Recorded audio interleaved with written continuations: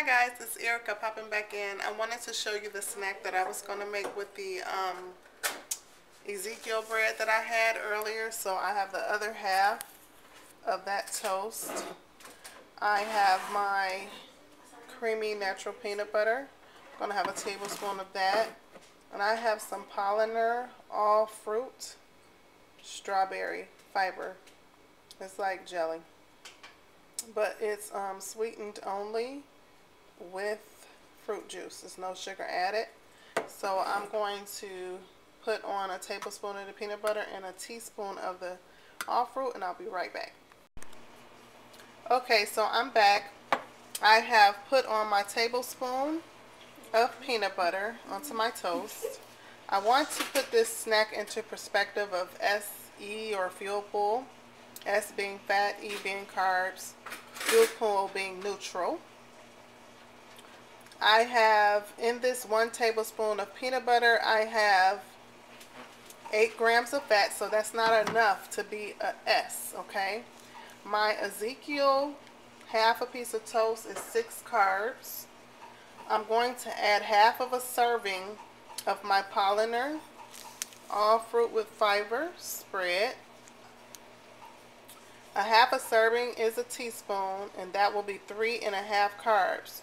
So if I add up my six from my six carbs from my Ezekiel toast, three and a half carbs from this Polaner all fruit, that's only nine and a half carbs.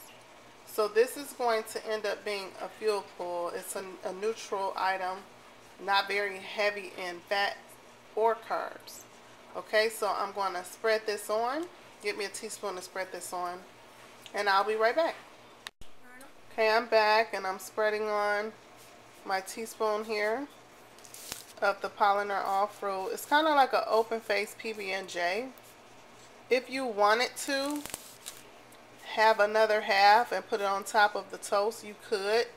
Um, that would make it definitely an e-snack. I'm using this half of toast because this is what I had earlier and um, I want to use it up. Rethinking this snack a little bit though, I did put butter on my toast earlier. I had a half a tablespoon of butter. Um, so actually, with the amount of peanut butter and that butter I had on my toast, this would probably be leaning more toward the S because I had butter earlier. Okay? So I'm going to enjoy my peanut butter and jelly. And um, I'll see you guys back when it's time for dinner. Okay, bye. You all have a blessed evening. I forgot to mention that the other half to my snack is my cup of green tea. So I'm going to have that now. That's brewing. And um, I just want to say the um, peanut butter and jelly I think is now my new favorite snack. It was so good. You gotta, gotta, gotta try it. Okay, so I'll be back when I'm making dinner. Peace. Be blessed. See you later. No, I'm just kidding. Bye.